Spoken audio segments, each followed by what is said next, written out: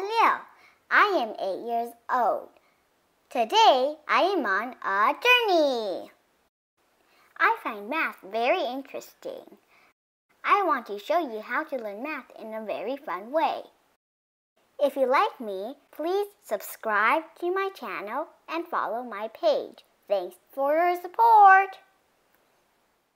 If the difference of two numbers is odd, then one of the numbers is even, another is odd.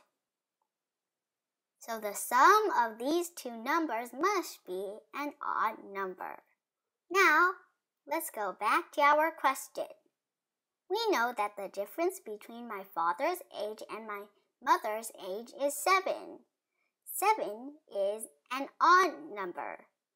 So one of their ages must be an odd number and the other must be an even number. So the sum of their ages must be an odd number. In the choices below, 73 is the only odd number. So 73 is our answer. Did you think this was fun? Well, I did. If you like me, please like, share, and follow. Thanks for your support.